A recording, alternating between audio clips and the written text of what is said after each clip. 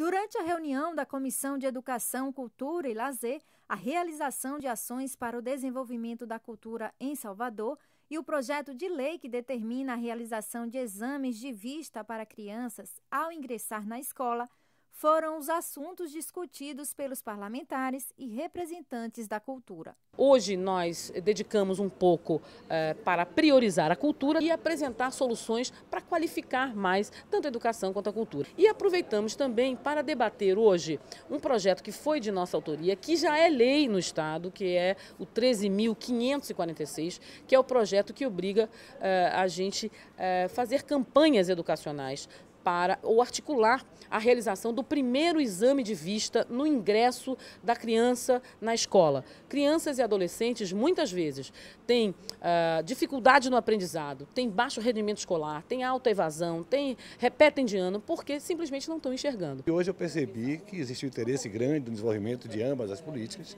né? na área da cultura a valorização do programa Municípios Culturais, das escolas culturais, né? a inserção da cultura desde o ensino fundamental e se tratar isso como um dia a dia. Né? A gente faz cultura a partir do berço, a gente traz conosco a ancestralidade.